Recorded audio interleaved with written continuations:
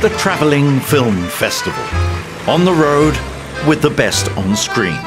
Why should Sydneysiders have all the fun?